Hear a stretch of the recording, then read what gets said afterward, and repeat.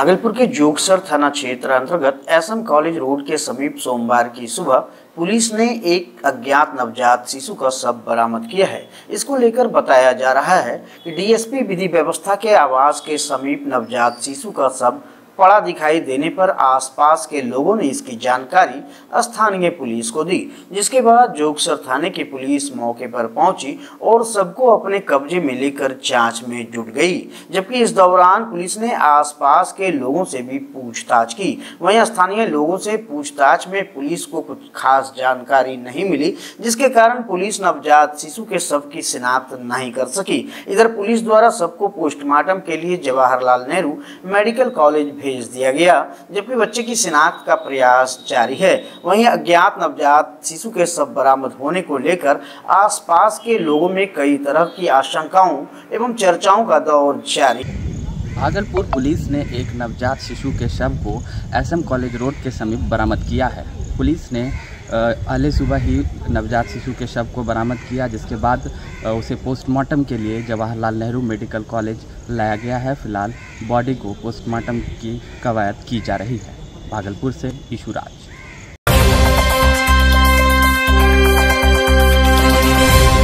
पटना के Rajendra Nagar road number three स्थित park में स्वर्गीय पंडित दीनदयाल उपाध्याय की जयंती के अवसर पर सोमवार को राजकीय समारोह का आयोजन किया गया। जिसमें बिहार के मुख्यमंत्री नीतीश कुमार ने पंडित दीनदयाल उपाध्याय की प्रतिमा पर पुष्प अर्पित कर श्रद्धांजलि दी।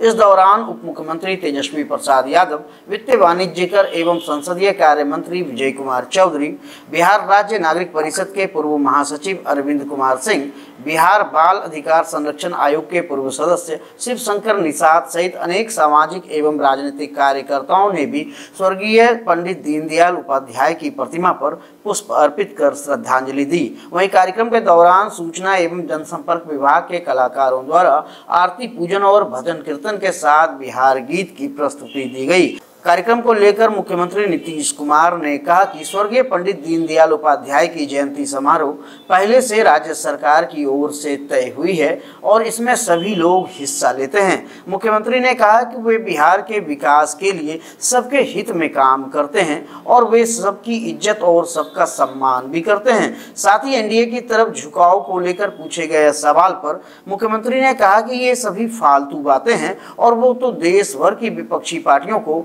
एकजुट करने में लगे हुए हैं।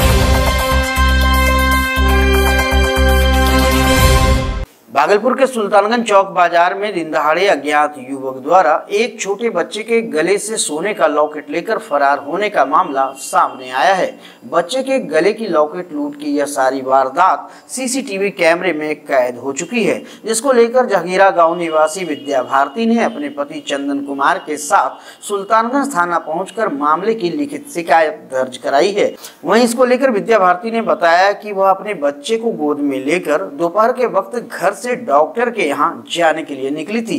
तभी एक अज्ञात युवक पीछे से छोटे बच्चे के गले से सोने का आठ आने का लॉकेट लेकर फरार हो गया। महिला ने बताया कि पास के ही सीसीटीवी कैमरे में सारी घटना कैद हो गई और उसमें लॉकेट चोरी करते हुए युवक भी साफ़ दिखाई दे रहा है। वहीं इसके बाद सुल्तानगंज पुलिस हरकत में आई और अज्ञात युवकों की पहचान में जुट गई है। इधर इस तरह की घटना को देखते हुए पुलिस प्रशासन की ओर से आम लोगों से बात बाज़ार या मेले के दौरान झपट मार और चोरों से सावधान रहने की अपील की गई है, जबकि इस तरह की हरकत करने वालों के खिलाफ पुलिस द्वारा भी कड़ी कानूनी कार्रवाई करने की बात कही गई है। इसके अलावा एक अन्य मामले में सुल्तानगंज थाना पुलिस को बड़ी सफलता मिली है, जिसमें पुलिस ने मुंसीपट्टी गाँव से एक वारंटी अनुज कुमार शाह को गिरफ़्तार कर कानूनी कार्रवाई करते हुए न्यायालय भेज दिया।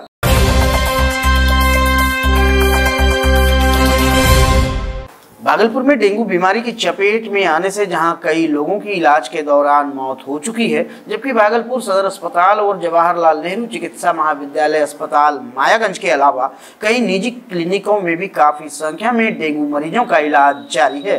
बताया जा रहा है कि मायागंज अस्पताल और सदर अस्पताल में स्वास्थ्य विभाग द्वारा डेंगू वार्ड में तैयार किए गए बेड पर मरीजों के लिए ज़रूरी इंतज़ाम किया गया है, जिससे अब तक काफ़ी संख्या में मरीज़ स्वस्थ होकर अपने घर भी जा चुके चुके हैं, जबकि लगातार डेंगू की चपेट में आ रहे मरीजों के अस्पताल पहुँचाने को लेकर स्वास्थ्य विभाग और अस्पताल प्रशासन के साथ आम लोगों में भी भय और चिंता का माहौल है।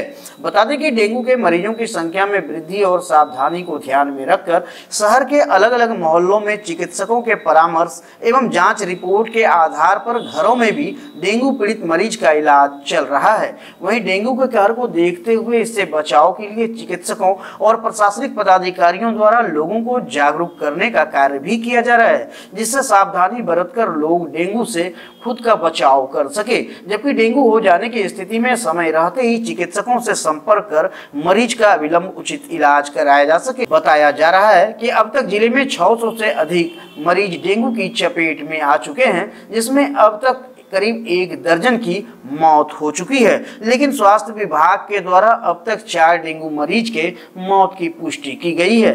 इधर जेलरमा सीएच के अस्पताल अधीक्षक डॉक्टर उदय नारायण सिंह ने बताया कि फ़िलहाल अस्पताल में सौ से अधिक डेंगू के लक्षण वाले मरीजों का इलाज चल रहा है, जबकि काफ़ी संख्या में स्वस्थ हो चुके लोगों को छुट्टी दे दी गई है। साथ ही उन्होंने कहा कि स्वास्थ्य विभाग और जिला प्रशासन इस बीमारी से बचाव और इलाज के लिए तत्पर है और कई पहल पहल की गई है। लेकिन आम लोगों को भी जागरूक होकर सावधानी बरतनी होगी, जिससे डेंगू बीमारी से छुटकारा पाया जा सके।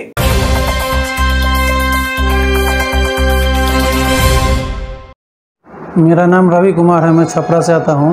मैं मुझको सबसे पहले डायबिटीज़ फरवरी 2021 में डिटेक्ट हुआ था। सबसे पहले मैंने कोई इंग्लिश दवा नहीं ली थी इसकी, और सर का पता चला हमको कि एक पेशेंट इलाज करा के गए हैं, वही बताया कि डॉक्टर साहब बैठते हैं शुगर का इलाज करते हैं जो कि जड़ मूल से ख़त्म करते, हो जाता है डायबिटीज़ उनसे हम संपर्क में आए, आकर मिले तो बताया सर कि दवा खाइए धीरे धीरे कंट्रोल होगा उससे से हम डोज दवा का कम करते जाएँगे। मैंने उनको सर के इंस्ट्रक्शन को फॉलो किया। धीरे धीरे धीरे धीरे ब्लड शुगर कंट्रोल होते गया और आज के डेट में नहीं है, लगभग एक महीना हो गया, दवा कोई भी नहीं चल रहा है। आज मेरा ब्लॉक करने के लिए भी दवा पिला दिए हैं, सर। वैसे शुगर जब हुआ था, उस समय हमको कॉन्स्टिपेशन गैस वाला प्रॉब्लम बना हुआ था। नहीं, यकीन तो नहीं था, लेकिन सुनकर ही आदमी विश्वास पर ही जाता है कहीं ना कहीं। हम भी विश्वास किए कि चलिए इंग्लिश पर में तो जाएँगे तो वो बोलेंगे कि लाइफ लॉन्ग दवा